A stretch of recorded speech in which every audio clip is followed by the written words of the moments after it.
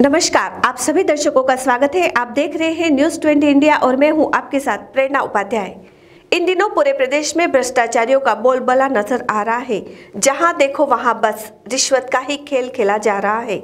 वहीं यदि बात करें तो ऐसे कुछ सरकारी अधिकारी हैं जो बिना रिश्वत के सरकारी योजनाओं का लाभ जनता को नहीं दे रहे हैं। इसी के एक बान की राजधानी जयपुर के शाहपुरा कस्बे के निकट चिमनपुरा गाँव में चल रहे प्रशासन गाँव के संघ शिविर में दिखाई दी।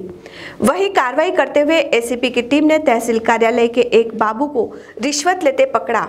पकड़े गए बाबू जितेंद्र कुमार ने भूमि के कन्वर्ट के लिए रिश्वत मांगी थी। एसीबी के एएसपी नरोत्तम वर्मा ने बताया कि परिवादी ने एसीबी में आरोप के खिलाफ शिकायत की थी।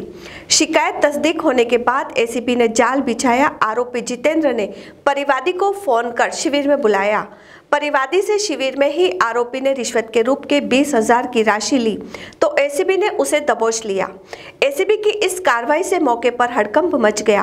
एसीबी वर्मा ने बताया कि आरोपी ने पैंसठ हज़ार में सौदा तय किया था, जिसमें पच्चीस हज़ार की रसीद व चालीस हज़ार रिश्वत के थे, जिसमें से आरोपी ने रसीद की राशि समेत कुल पैंतालीस हज़ार रुपये पहले ही लिए थे।